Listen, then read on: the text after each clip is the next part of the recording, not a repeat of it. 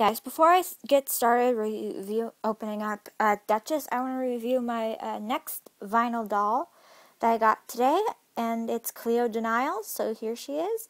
Uh, Cleo is the daughter of the mummy. Um, she has she has her Egyptian pose, um, her original school outfit. Um, she is made of the same plastic as Clawdeen's vinyl. Um, she has a gold headband with blue jewels in it, and her hair is brown with gold trimming in it, and it's all sparkly, as you can see that. Yeah. And it's nicely detailed as well.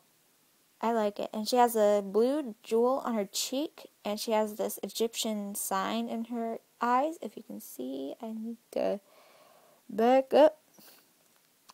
Can you see? Can you see that? I know I can't. I'm sorry, my comp- my camera's not doing so good. Um, yeah, and she has her uh, arm brace and her wraps all over her.